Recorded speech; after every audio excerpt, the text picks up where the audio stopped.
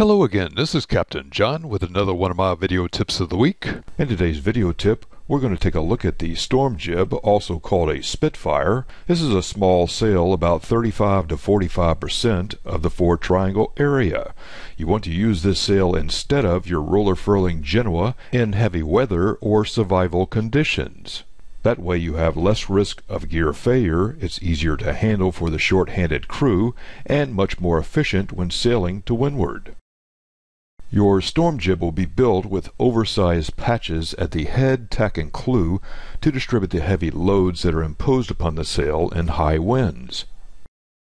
Rings are installed into the corners of the patches and snap-on hanks along the luff of the sail from the head to the tack.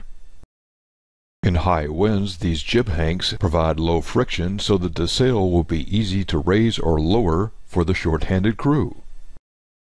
Raise the tack of the sail several inches off the deck with a pennant.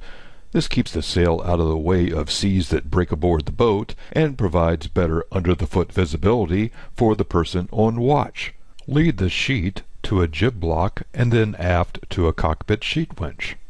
Now you know how the storm jib can provide you with better performance and a safer sail to use in heavy weather. This is Captain John, and this has been another one of my video tips of the week. Find more sailing tips and techniques on www.skippertips.com.